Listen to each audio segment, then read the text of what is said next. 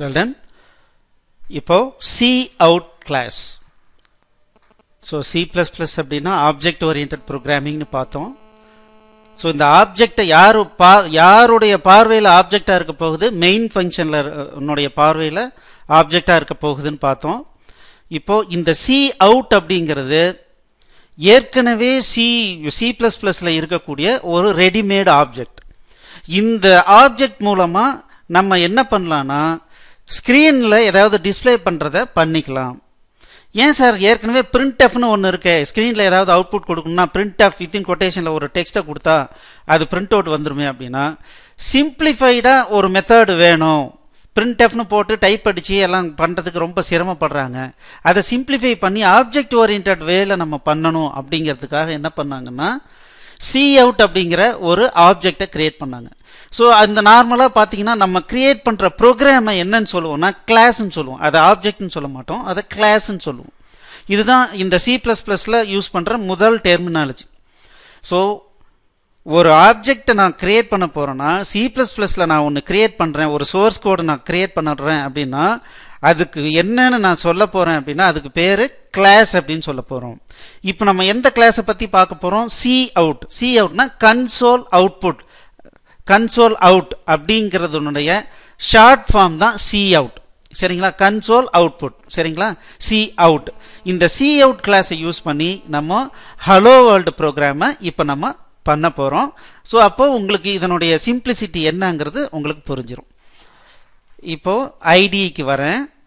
இப்போ நியூ பாருங்க. இந்த ஐக்கானை கிளிக் பண்ணுறோம் இல்லை ஃபைலில் போய் நியூ கிளிக் பண்ணாலும் சரி சி ப்ரோக்ராமா சியா எது வேணும்னு கேட்குது சி ப்ளஸ் ப்ளஸ் அப்படின்னு நான் வந்து சோர்ஸ் ஃபைல் செலக்ட் பண்ணிக்கிறேன். ஓகே கொடுக்குறேன். ஓகே இப்போ பாருங்கள் இந்த மாதிரி வந்துருச்சு. ஸோ இது எடிட்டர் இப்போது இந்த எடிட்டரில் நம்ம கோடிங் எழுதுறோம் இப்போ நான் இதுக்கு உண்டான கோடிங் முதல்ல எழுதிடுறேன். அதுக்கப்புறம் ஒவ்வொன்றா உங்களுக்கு எக்ஸ்பிளைன் பண்ணுறேன் include IO stream.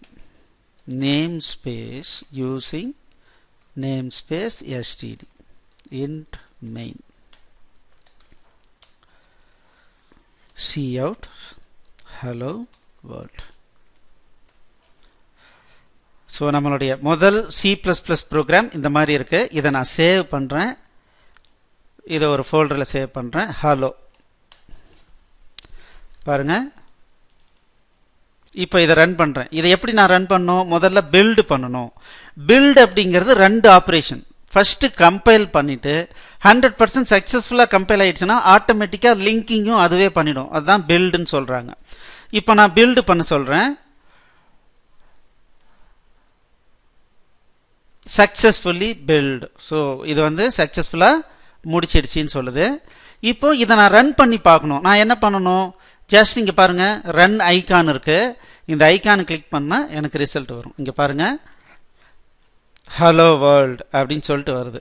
இது வரும்போது என்டர் கீ ப்ரெஸ் பண்ணுங்கள் இதை க்ளோஸ் பண்ணிங்கன்னா குவின்சியும் சேர்த்து க்ளோஸ் ஆகிடும் அதனால் இது பாருங்கள் இங்கேயே மெசேஜ் அவன் கொடுத்துறான் press enter to return to Quincy இப்போ நான் என்டர் கீ ப்ரெஸ் பண்ணுறேன் க்ளோஸ் கிளிக் பண்ணாதீங்க. இதை கிளிக் பண்ணிங்கன்னா குவின்சியே க்ளோஸ் ஆகிடும் இப்போ ப்ரெஸ் என்டர் கிளிக் பண்ணுறேன் ஓகே இப்போ ஹலோ வேர்ல்டு ப்ரோக்ராம் முடிஞ்சிருச்சு. இப்போ இந்த ஹலோ வேர்ல்டு ப்ரோக்ராமில் என்னென்ன பண்ணியிருக்கோம் என்ன சி ப்ரோக்ராமிங்க்கும் இதுக்கும் என்னென்ன வித்தியாசம்னு பார்ப்போம். ஸோ நார்மலாக இன்க்ளூடில் என்ன பண்ணுவோம்னா include STD IOH STD IO dot H கொடுப்போம். ஸ்டாண்டர்ட் இன்புட் அவுட்புட் ஹெடர் ஃபைல்னு சொல்லுவோம். அதை இங்கே என்னன்னு சொல்கிறாங்கன்னா இன்புட் அவுட்புட் ஸ்ட்ரீம் இந்த டாட் ஹெச்லாம் நம்ம இங்கே போடக்கூடாது. நம்ம போடுறதில்ல. ஐஓ ஸ்ட்ரீம் ஐஓ ஸ்ட்ரீம்னா இன்புட் அவுட்புட் ஸ்ட்ரீம் ஸோ இது வெரி ஃபர்ஸ்ட் லைன் இந்த ஐஓ ஸ்ட்ரீம் எதுக்காக கொடுத்துருக்கோன்னா இந்த ஐஓ ஸ்ட்ரீமில் தான் இந்த சி அவுட் கிளாஸ் இருக்கு.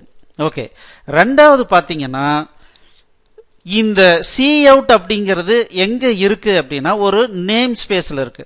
நேம் ஸ்பேஸ் எதுக்காக? இதே சி அவுட் நேமில் வேற ஒருத்தர் கிளாஸ் எழுதியிருந்தா அது என்னுடைய நேமோட கொலாப்ஸ் ஆகும் இல்லையா? ஆம்பிகியூட்டி வரும். அதுதான் நான் சொன்னேன் நேம் ஸ்பேஸில் ப்ராப்ளம் வரும்ன்ட்டு. அதனால் என்ன பண்ணியிருக்காங்கன்னா சி ப்ரோக்ராமிங் இந்த சி ப்ளஸ் ப்ளஸில் பொறுத்த வரைக்கும் இப்போ நான் கிரியேட் பண்ணுறேன்னா அதுக்கு ஒரு பேர் கொடுத்துக்கலாம். சரி இப்போ பார்த்தீங்கன்னா கலெக்டிவான்னு வச்சுங்களேன் கலெக்டிவாங்கிற பேரை கொடுத்துட்டு அதுக்கு கீழே நான் எல்லா கிளாஸையும் கிரியேட் பண்ணனா ஸோ நான் கிரியேட் பண்ணுற கிளாஸை இந்த கலெக்டிவான்ற ப்ரிஃபிக்ஸை வச்சு தான் நான் ஒவ்வொரு இடத்துலையும் ரன் பண்ணணும். அதனால் என்ன பண்ணுறோம் அப்படின்னா இப்போ பாருங்கள் இந்த இடத்துல வரேன். இதை கமெண்ட் பண்ணுறேன் சி ப்ளஸ் ப்ளஸில் டபுள் ஃபார்வர்ட் ஸ்லஸ் போட்டால் கமெண்ட்னு அர்த்தம். இதை கமெண்ட் பண்ணிவிட்டு இப்போ பில் பில்டு கொடுக்குறேன். என்ன ஆகுது பாருங்கள் எரர் சொல்லுது. C out was not declared C அவுட்டுங்கிறது இல்லைன்னு சொல்லுது.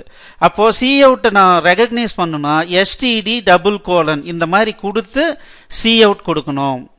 அப்படி கொடுத்தாதான் இந்த எஸ்டிடிக்குள்ளார இருக்கிற சி அவுட்டு தான் எனக்கு வேணும்னு கரெக்டாக சொல்கிறேன் அப்போ என்ன ஆகும் வேற ஒருத்தர் எஸ்டிடி டூன்னு கிரியேட் பண்ணி அதுக்குள்ளார சி அவுட் கொடுத்தா அதுவும் அந்த சி அவுட்டும் என்னுடைய சி அவுட்டும் கொலாப்ஸ் ஆகவே ஆகாது. அதனால் இந்த மாதிரி ஒவ்வொரு கிளாஸையும் ஒரு இந்த மாதிரி ஒரு நேம் ஸ்பேஸ்ன்னு சொல்கிறோம் இதுக்கு. இந்த நேம் ஸ்பேஸை பேஸ் பண்ணி நம்ம முழுமையாக கொடுக்கும்போது இந்த ப்ராப்ளம் வருது. இந்த சாஃப்ட்வேர் வந்து பெரிய டீமாக டெவலப் பண்ணும்போது ப்ராப்ளம் வருது அப்படிங்கிறது அவாய்ட் ஆகுது. சரி.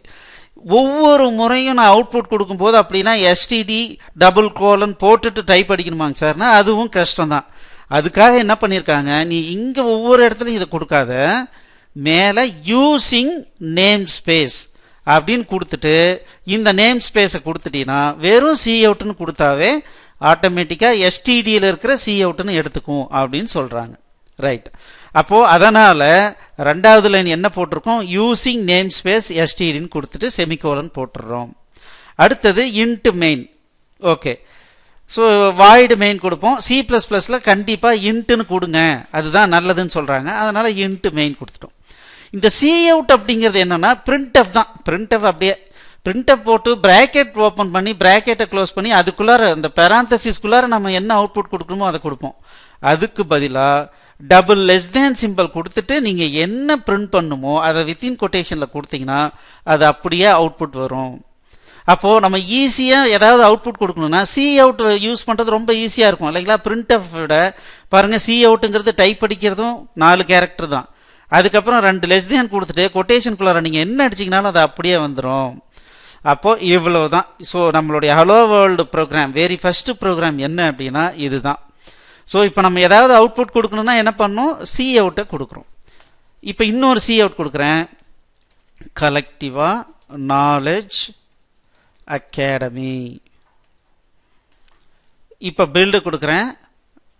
மறுபடியும் ரன் பண்ணுறேன் பாருங்கள் ஹலோ வேர்ல்டு கலெக்டிவா நாலேஜ் அகாடமி ஸோ சி ப்ரோக்ராமில் என்ன பண்ணுவோம்? ஒரு பேக் ஸ்லாஷ் என் கொடுப்போம். எதுக்காக? புது லைனில் ஸ்டார்ட் பண்ணோன்னா பேக் ஸ்லாஷ் என் கொடுப்போம். அதே மாதிரி இங்கே கொடுக்குறேன். ரன் பண்ணுறேன் பாருங்கள் அடுத்த லைனில் வந்து விழுவுது. ஸோ இந்த கொட்டேஷனுக்குள்ளே கொடுக்கறது எல்லாமே சி ப்ரோக்ராமிங் மாதிரி தான். ஆனால் பிரிண்ட்எஃப்க்கு பதிலாக என்ன பண்ணுறோம் சி அவுட் அப்படின்ற கிளாஸை யூஸ் பண்ணி நம்ம பண்ணுறோம் ஸோ இப்போ பார்த்தீங்கன்னா மெயின் அப்படிங்கிற ஒரு ஃபங்க்ஷன் சி அவுட் அப்படிங்கிற ஒரு ஆப்ஜெக்டை யூஸ் பண்ணுறாரு ஸோ இதுதான் ஆப்ஜெக்ட் ஓரியன்ட் ப்ரோக்ராமிங் இன்னும் இதை வந்து நம்ம யூஸ் பண்ண யூஸ் பண்ண உங்களுக்கு நிறைய விஷயங்கள் புரியும். இப்போ நீங்கள் என்ன பண்ணணும்னா நிதானமாக இந்த ப்ரோக்ராமை டைப் அடித்து எரர் ஃபுல்லாக ரெக்டிஃபை பண்ணி இந்த ஒரு ப்ரோக்ராமை நீங்கள் ரன் பண்ணணும். எவ்வளோ டைம் ஆனாலும் சரி இப்போ ஒன்றும் இல்லை டபுள் லெஸ் தேன் போடுறதுக்கு பதிலாக ஒரு லெஸ் தேன் போட்டுன்னு வச்சுக்கோங்க. இந்த மாதிரி எரர் வரும். இந்த மாதிரி எரர் வரும்போது நீங்கள் பண்ண வேண்டிய முக்கியமான விஷயம் என்னென்னா கரெக்டாக இங்கே பாருங்கள் எரர்னு எந்தெந்த லைனில் இருக்கோ இப்போ எரர்னு இருக்குது அந்த லைனில் ஃபுல்லாக என்ன கொடுத்துருக்காங்களோ அதை படிக்கணும். என்ன படிக்கணும் பாருங்கள் no match for operator less than in STD C out C அவுட்டுக்கு less than கேரக்டர்னா என்னன்னே தெரியலன்னு சொல்கிறான் இப்போ நீங்கள் என்ன பண்ணலாம்? இந்த இடத்துல வச்சு டபுள் கிளிக் பண்ணிங்கன்னா அந்த லைனுக்கு ஆட்டோமேட்டிக்காக வந்துடும் இப்போ உங்களுக்கு தெரியுது டபுள் லெஸ் தேன் போடுறதுக்கு பதிலாக சிங்கிள் போட்டிருக்கோம். அதுதான் ப்ராப்ளம்ன்ட்டு உடனே நான் இன்னொரு லெஸ் தேன் கொடுத்துட்டு மறுபடியும் பில்டு கொடுக்குறேன். அப்படியே. இப்போ சரியாயிடுச்சு ரன் பண்ணுறோம் ஸோ முக்கியமாக நம்ம ப்ரோக்ராமிங் பண்ணும்போது இந்த எரர் வந்துச்சுன்னா அந்த எரர்னு இருக்கிற லைனை ஃபுல்லாக படிக்கணும். படித்து உங்களுக்கு அர்த்தம் தெரியலனாலும் பக்கத்தில் ஸ்டாஃபுங்க யாராவது இருந்தால் அவங்கக்கிட்ட கேட்டு இல்லை உங்களுக்கு நீங்கள் பண்ணும்போது எங்களுக்கு ஏதாவது டவுட் வந்ததுன்னா எங்களுடைய சப்போர்ட் கால் சப்போர்ட் நம்பரை கூப்பிட்டிங்கன்னா உங்களுக்கு என்ன எரர் அப்படிங்கிறத நாங்களும் ரெக்டிஃபை பண்ணி கொடுப்போம். நீங்கள் தயவு செஞ்சு எந்த விதமான ஹெசிடேஷனும் பண்ணாமல் எங்களை நீங்கள் கூப்பிடலாம். ஓகே இப்போ நீங்கள் இதை பண்ணிவிட்டு அடுத்த கிளாஸுக்கு வாங்க. ஸோ இது உங்களுக்கு நல்லா டைப் அடிக்க தெரியணும். அதே மாதிரி டைப் அடிக்கும்போது பாருங்கள் எப்பவுமே ஒரு கர்லி பிரேஸ் வந்துருச்சு அப்படின்னா அது சி ஆகட்டும் சி ப்ளஸ் ப்ளஸ் ஆகட்டும் எதுவாக இருந்தாலும் சரி. ஒன்ஸ் ஒரு கர்லி பிரேஸ் போட்டுட்டோம்னாவே அதுக்கப்புறம் எப்பவுமே ஒரு டேப் அடிக்கணும். எப்போ இதனுடைய மேட்சிங் கர்லி பிரேஸ் வருதோ அப்போ அந்த கர்லி பிரேஸுக்கு நேராக கொண்டு வரணும். இப்படி தான் நீங்கள் டைப் அடிக்கணும். இந்த கேப் ரொம்ப கம்பல்சரி அப்போ தான் நமக்கு ஏதாவது எரர் இருந்ததுன்னா ஈஸியாக ஐடென்டிஃபை பண்ணுறதுக்கு வாய்ப்பாக இருக்கும். நீங்கள் இந்த ப்ரோக்ராம் பண்ணி பாருங்கள் come to the next class thank you